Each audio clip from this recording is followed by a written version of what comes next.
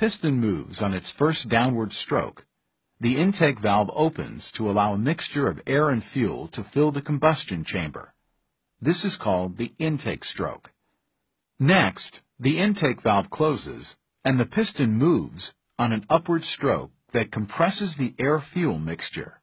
The compression of the air-fuel mixture will make it combust with greater force than if it were uncompressed. This is called the compression stroke.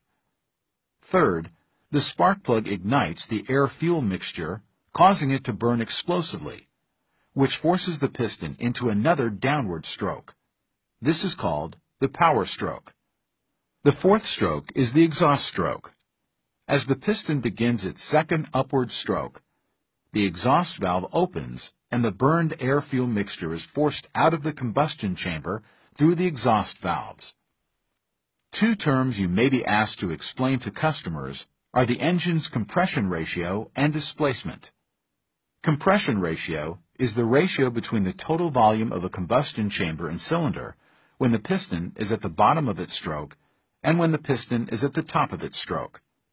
In this example, the compression ratio is 10 to 1.